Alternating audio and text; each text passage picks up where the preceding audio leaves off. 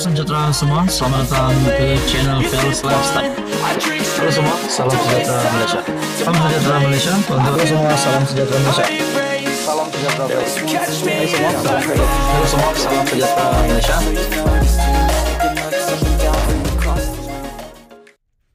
Salam sejahtera Malaysia, selamat datang ke channel Fels Lifestyle. Terdapat satu berita duka cita, berita pemergian mengejutkan ramai. Pemergian mengejutkan rakyat Malaysia, berita duka diterima. Dikongsikan daripada Malaysia kini, satu lagi pemimpin yang berjasa di Malaysia telah disahkan meninggal dunia. Pemergian ini pasti mengejutkan ramai. Bekas Menteri Kesihatan Chua Jui Meng meninggal dunia. Artikel diterbitkan pada Disember 3, 2023. Bekas Menteri Kesihatan Chua Jui Meng meninggal dunia pada usia 80 tahun. Dia dilaporkan dimasukkan ke hospital minggu lalu selepas serangan jantung. Kematiannya disahkan oleh Menteri Kesihatan Dr. Zaliha Mustafa. Chua pernah berkhidmat sebagai Menteri Kesihatan dari 1995 sehingga 2004.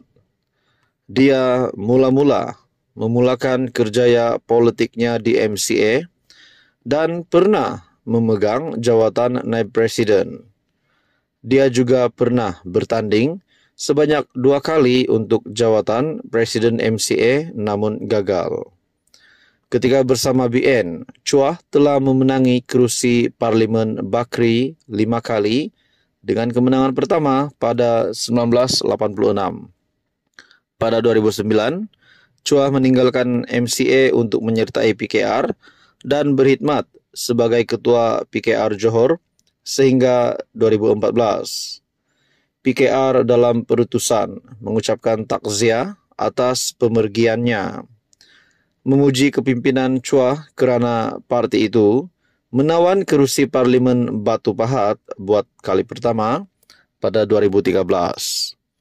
Pada pilihan raya itu, Chua sendiri bertanding untuk kerusi segamat. Tetapi tewas kepada S. Subramaniam dari MIC. Bagaimanapun, ini pasti satu pemergian mengejutkan kepimpinan-kepimpinan politik rakyat Malaysia. Tidak kira daripada kepimpinan PKR Barisan Nasional dan juga kepimpinan pembangkang. Pemergian ini pasti mengejutkan Tun Mahathir, mengejutkan Muhyiddin Yassin, mengejutkan Datuk Seri Anwar Ibrahim dan semua kepimpinan politik di Malaysia. Sekian saja, teruskan bersama di dalam channel ini untuk info yang seterusnya. Halo semua, salam sejahtera Malaysia. Selamat datang ke channel Fels Lifestyle. Nah, tuan-tuan dan puan yang amat dihormati, saudara-saudara semua, sudah pasti ramai ingin mengucapkan tahniah kepada Dr. Sam ataupun Dr. Sam atas kemenangan bagi calon PAS ataupun Perikatan Nasional di Kemaman. Nah, dengan kemenangan ini, satu lagi berita gembira, selain daripada berita buruk yang diterima oleh pengurus CPN sebelum ini, berkaitan dengan peralihan sokongan MP, MP bersatu. Nah, terdapat persoalan yang timbul selepas Dr. Sam ataupun Dr. Sam menang di Kemaman. Selepas PN PAS berjaya sekali lagi untuk memenangi pilihan raya kecil Kemaman. Tiba-tiba, selepas menang, Dr. Ahmad Samsuri Mokhtar, MB Terengganu, yang juga adun, telah membuat kenyataan bahwa pembuka pintu untuk kita menuju Putrajaya, kata Dr. Sam.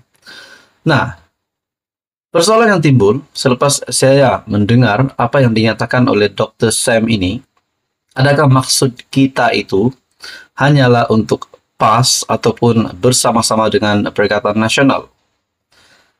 Nah, tuan-tuan dan puan yang amat dihormati, mungkinkah selepas menang di Kemaman, bertambah sibuklah MB Terengganu selain daripada tugas ataupun jawatan sebagai MB, sebagai Menteri Besar Terengganu, sebagai adun dan begitu juga sebagai ahli parlimen. Semakin padatlah jadwal bagi Dr. Sam. Nah, mungkinkah maksud pembuka pintu untuk menuju ke Putrajaya? Untuk kita menuju ke Putrajaya hanyalah mewakili PAS. Bukan maksudnya kita itu bersama-sama dengan Perikatan Nasional. Nah, itu menjadi persoalan. Sebab tidak dinyatakan sini oleh Dr. Sam bahwa pembuka pintu untuk kita PN menuju Putrajaya. Tapi saya tak nak panjangkan di situ. Tapi spekulasinya adakah Ahmad Samsuri Mokhtar sebagai ahli parlimen PN PAS yang baru tidak juga mustahil akan beralih sokongan terhadap kerajaan perpaduan pimpinan Datuk Seri Anwar Ibrahim. Di samping pada hari ini pun sudah bulan 12, bulan Desember. Tidak lama lagi Januari, seperti mana yang 33 juta rakyat Malaysia sudah sedia maklum.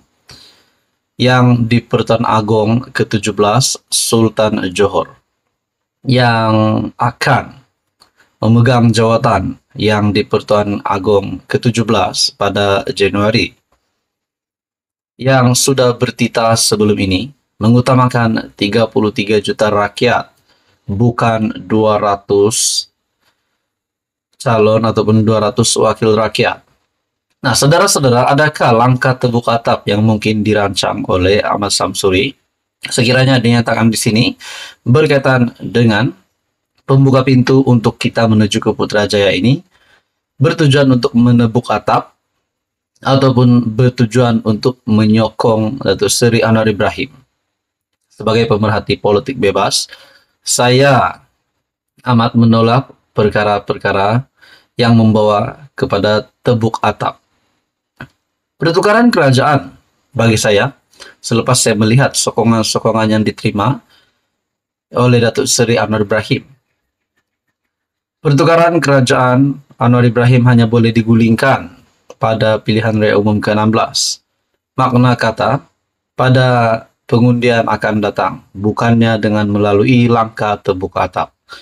Nah, saudara-saudara berkaitan dengan komen, berkaitan dengan um, spekulasi Dr. Ahmad Samsuri Mokhtar menyokong Anwar Ibrahim, apa komen Anda?